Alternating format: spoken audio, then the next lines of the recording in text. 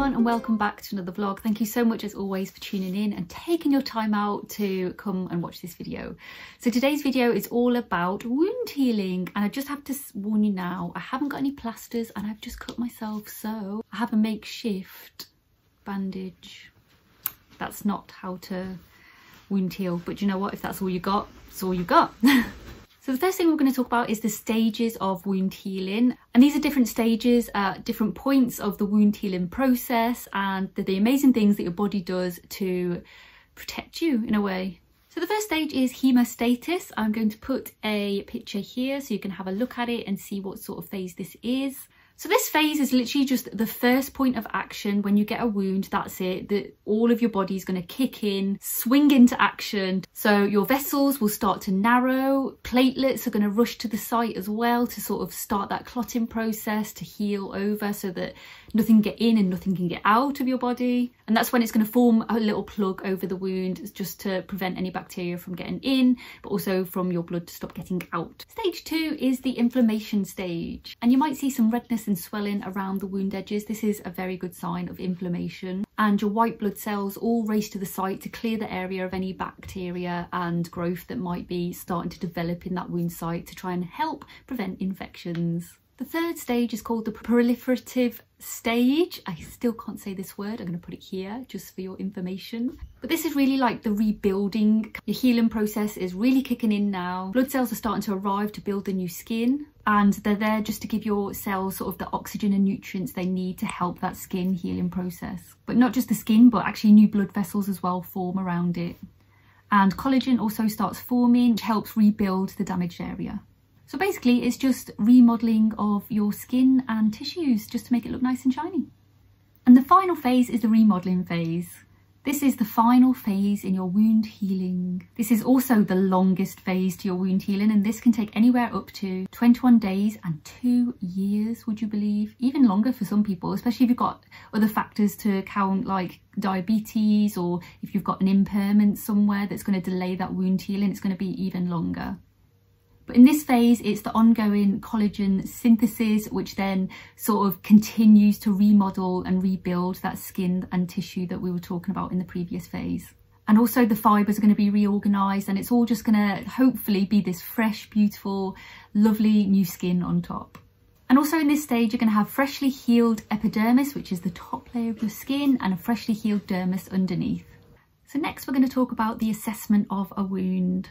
I just wanted to go through all of the different types of tissue types that you might see on a wound just to help you make that assessment to see which one it is and what stage it's at. So first is the epithelial tissue. I don't know if I've said that right, but I've said it anyway. I'm going to put the word here and a picture here of what it should look like. This is going to be a nice pink colour, pearly sort of skin. It's going to look good. And you normally see this when the wound is actually healing well and you've got that nice fresh layer coming across. It is, it's a good sign if it's doing that. Next up we have granulation tissue. So if you've got an open wound, this is where all of the new tissue is starting to form, the new blood vessels are formed and it's going to look this red, um, sort of meaty kind of colour. I'm going to put a picture again here so you can see what I'm talking about, but this is kind of what it looks like. However, you can get a very unhealthy version of this, and this is what we call overgranulation. So there's a number of things that can cause this. Some It could be a type of infection, so you might want to treat it with a different type of dressing for example. If you've got contact bleeding if you're starting to see blood when you're wiping it and cleaning it if little pieces are coming off that's normally a good indicator of an infection as well. So it's really important that you find the underlying cause of what's causing that. And sometimes it's just the environment it's in the wrong environment. Um, so maybe try a different dressing um, sometimes a steroid cream to reduce that. Just have a look at the guidelines and how to treat overgranulation in your area slough. I know. One of my favorites is slough. So this is this is a, a, again a stage of wound healing as well. This is part of the um, inflammatory phase this is where you've got all of the white sort of dead blood cells hanging around. Um, and it's not normally a problem. You, you can normally sort of wipe it away and that'll be fine and the wound will heal lovely. But sometimes it can be a bit of a problem if that's starting to turn a different colour for example like more of a greeny colour if it's looking a bit dark in colour um, if it's getting really, really thick and an offensive smell, for example, you might be starting to think, okay, is this infected? That will then make you decide what dressing to put on that sort of, of a wound. You may see necrosis at some point and this is basically it's dead tissue. That's all it is. It's dead tissue um, depending on the wound and where it is you will assess that differently. And if it was something like on a joint or if it was on the foot for example and that was necrotic you want to be thinking okay what is this blood supply like? Is there a good blood supply flowing to that area? Because it shouldn't really be getting at that point where it's necrotic. Um, so you might want to do a bit more of an assessment and have a look into the patient's history as well and work out what you're going to do with this wound so now we've talked about the terminology with looking at wounds and looking what they look like. You want to put in a percentage of that in your in your documentation. So if you see some slough, you want to put, okay, is this 10% sloughy or 50-50, is it 50% slough and 50% granulation? You're trying to work out how how much of something there is and it'll give a just a, to give a good accurate description so that if someone else looks at it they know what they're looking out for and if this has changed since you've last seen it. And the way I do it is I think of it like a clock face so I split it up into sections and I go okay so that little section is only that so much so then I can work out an accurate percentage if that makes sense and that's how I normally do mine. And I think thinking of it as a clock face when you're assessing wounds is just a really good tip to sort of be able to measure it as well as assessing what percentage is what which takes me nicely onto measuring your wound. So like I said, as a clock face, you want to go to the longest points. So you're going to go 12 o'clock to 6 o'clock and uh, 3 o'clock to 9 o'clock. So that they're vertical, horizontal every single time. And you want to go to the longest points that way. So if it's just slightly up or down, that's okay. Slightly up or down that way, that's okay. But as long as you're all following that same pattern, then you will all be measuring it accurately if someone else is measuring it after you. But just think of it as a clock face, longest points to longest points. And you want to do it in millimeters as well and also if there's a depth to it so there, there are little probes that you can have with little measurements on to measure the depth of a wound if you've got a cavity type wound. But if it's superficial then I wouldn't worry. Just put superficial wound on your notes. Sorry I forgot to mention exudate when I was talking about slough and granulation and things I, I forgot to mention exudate so I'm just going to quickly cover that now because we're going to go on to dressings which it'll just flow nicely trust me. Um so exudate is it I just think of it as the fluid coming out of the wound. It's uh, quite clear sometimes. Um, it can be quite yellow in colour, but if that starts going green, then you want to start thinking, okay, is this Pseudomonas infection? That's normally a good indicator, actually, if it's green in colour and a bit of a, an odour to it. Then you're going to be thinking infection. Do I need to treat this with antibiotics or different microbial dressings, for example? And again, you want to measure the amount of exudate that's coming out in your notes. So we go by different levels. So dry if it's dry you'd put moist if it was just a little bit on the dressing. Wet so your dressing is wet or your dressing is completely saturated or it's leaking so it's actually leaking through the dressing and the bandaging Sorry guys, it just got really dark in here all of a sudden, so I've had to put my um, light on. So yeah, sorry about the change in lighting in this video. Not very professional, I know, but as long as I'm giving you the information, it's fine. so that last bit took us really nicely onto dressings. Firstly, think about what you're going to wash this wound with. Um, if you've got an open wound, I would use a sterile solution. So for example, if this is just a superficial wound, a skin tear or something like that, someone's just knocked their arm or something and you're just giving it a clean up and putting a plaster on, I would go with just simple saline because that's all you need.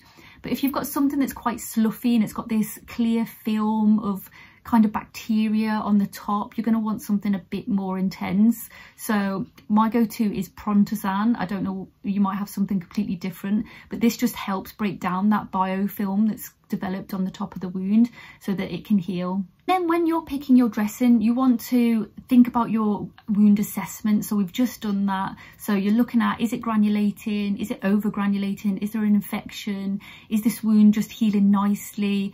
Um, is there a high amount of slough? Is there a high amount of exudate? If there's a lot of exudate coming out, you want something that's going to really absorb that as well. Want more of an absorbent dressing. If this if this wound's quite dry and it's not infected, then you can use more of a simple dressing. So I've got a little table here just to help me remember on my laptop so that I can give you the correct things or the things that I do. So looking at your wound, if it's barely wet and there's not much fluid coming out of it, low exudate, but it looks infected, then you want an antimicrobial dressing. So you're going to go things like Medihoney, Hydroflex or iodine, maybe a silver dressing, maybe um, an alligate dress, alleviate, alligate, allergy, alleviate dressing. Sorry, I can't speak. Alleviate dressing, which is um, a, like a seaweed dressing. And if it was a more painful wound, then you might think of some soft type dressings that isn't going to irritate it or cause it more pain.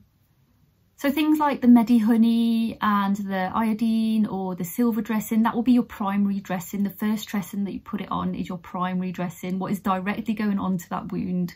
Then on top of that, you want a secondary dressing. So something just to seal it in, protect it, keep that dressing in place because they don't come as adhesives or anything like that. So you want something as a secondary dressing on top of that.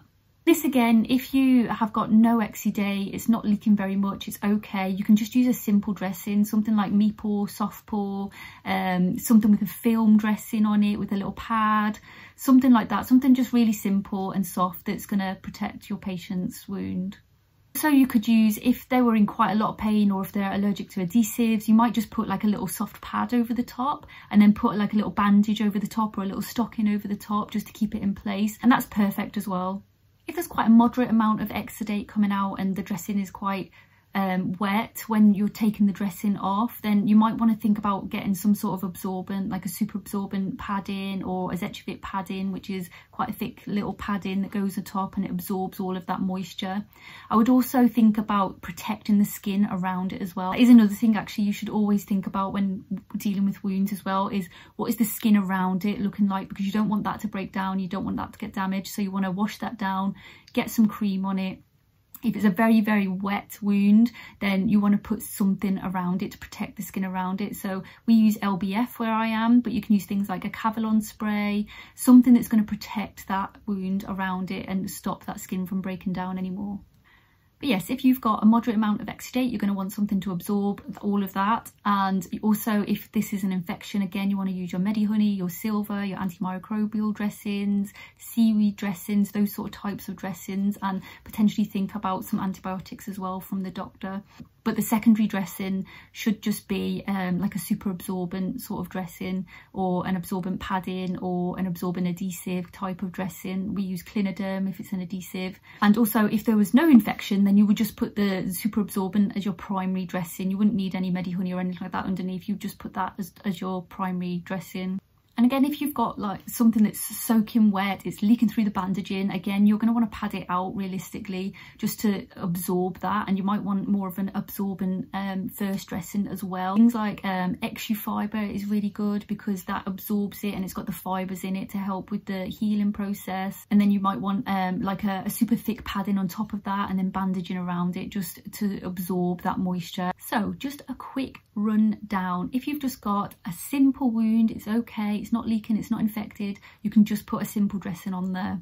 If you've got something that looks a bit infected, you might want to consider antibiotics, you might want to treat it locally with a local dressing like antimicrobials like Medihoney, maybe a silver dressing, an alginate dressing, those sort of types dressing. And then if you're having a high amount of fluid leaking out of it, you want to think foam, padding, pad it out, you also might get the opposite. You might get a really dehydrated wound bed as well. So something that's really dry, that slough's gone really hard in the middle. So you want to try and put something in there that's going to soften that and promote wound healing. So something like a hydrogel, something that's going to promote moisture, promote all of that, and just hopefully getting that healing again.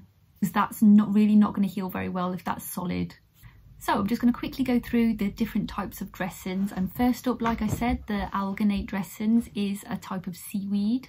And this can be used to absorb fluid, promote hydration and um, sort of debriding the wound if it needs debriding and moisture control. Then we have the foams that I spoke about, that's just to absorb any excess fluid and help that healing. Medihoney that I spoke about um, helps to rehydrate the wound, it helps to debride the wound and it's also a really good antimicrobial hydrocolloids. So this is things like you might have seen Aquacel type dressing and this just helps promote moisture control as well in the wound. It can absorb fluid as well and help with debridement. Hydrogels pretty much says what it says. It hydrates your wound. Good for debridement, cooling and moisture control as well. Iodine is literally just an antimicrobial action type dressing. PHMB dressing is again any type of antimicrobial dressing. You can also get things like activated charcoal dressings, which I've never used, but you can use that sort of thing for like odour control as well. Silver dressing is literally what it says on the tin. It is a dressing that contains silver in it and that's to fight infections like the Medihoney and antimicrobial dressing. So yeah, so like I said, you really just need to assess your wound bed and how it's healing to what type of dressing you would put on it. So just to summarise, we have talked about what you're going to clean your wound with, how you're going to assess the wound and how you're going to pick your dressings and the different types of tissues that you might see in uh, wound healing stages and how to manage wounds out there. But if in doubt, you will always have your tissue viability nurses out there for any help. That you might go to your mentor if you're a student nurse, or you might go to a more senior nurse if you're a qualified nurse um, and that's okay. If you if you're struggling to decide what to do with this wound like we all do it. I've done it many many times. I've looked at a wound I've gone I've got no idea. Um, and I've had to go to other people. So yeah so don't be afraid to ask for help. It's always better to get help and go from there than make the wrong decision and potentially delay that wound healing because we want to get this healed as fast as and quick as possibly and prevent infection also, I'm going to put a load of links below, so have a look at the details below. There's going to be a load of wound care links in there for you to have a look at, look around. Really good links, that's what I use, so please have a look at them, get to know your wounds and make sure you're doing the right things out there, guys. So that is it from me for another week. I shall see you all next time.